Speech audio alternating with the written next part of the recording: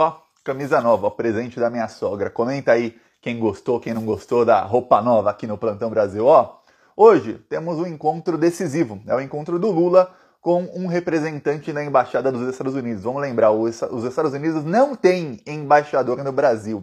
Desde que o Joe Biden assumiu, o embaixador indicado pelo Donald Trump foi embora e o Joe Biden não indicou nenhum embaixador ao Brasil numa sinalização de que ele não quer contato com o governo Bolsonaro. Pois bem, a embaixada norte-americana, sempre que tem eleição no Brasil, promove encontros do embaixador, ou nesse caso do representante da embaixada, com candidatos à presidência.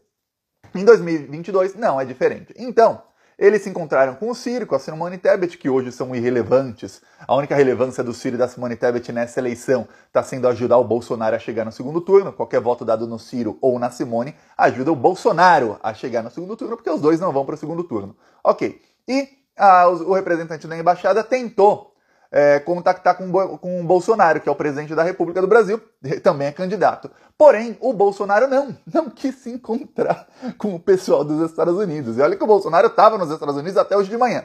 Não quis se encontrar, nem no Brasil, nem lá, não quis conversa com o pessoal do Joe Biden. Ok. Eles estão tentando também marcar encontro com Lula desde abril.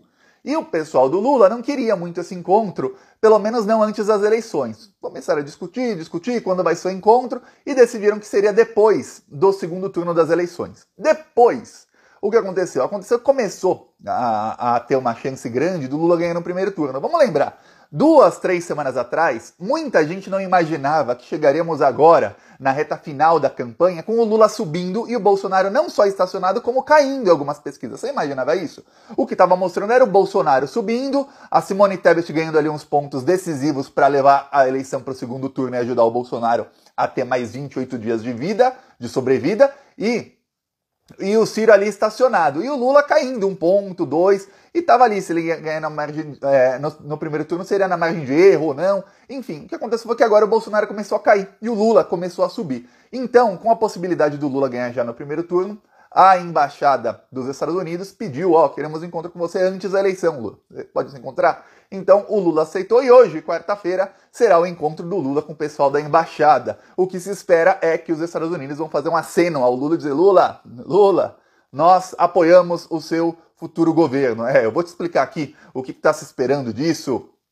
Qual é a articulação? Vamos lembrar, isso envolve não apenas a política brasileira, mas a geopolítica, que é o, o, assunto principal para os Estados Unidos. Os Estados Unidos estão sempre colocando o dedinho deles onde eles não são chamados. Inclusive no Brasil, vamos lembrar, temos dois golpes de Estado que já foram dados no Brasil com financiamento direto dos Estados Unidos, 64 e 2016. Inclusive, 2016, parte do golpe de Estado era prender o próprio Lula com financiamento novamente direto dos Estados Unidos, que treinaram não só o Moro, mas o Dallagnol, os procuradores da Lava Jato, todo mundo, e financiaram esse pessoal também. Quer dizer, você vê aí que o Lula não está se encontrando com gente amiga, não. É, os Estados Unidos são os maiores inimigos do Brasil, do desenvolvimento do Brasil, desde sempre.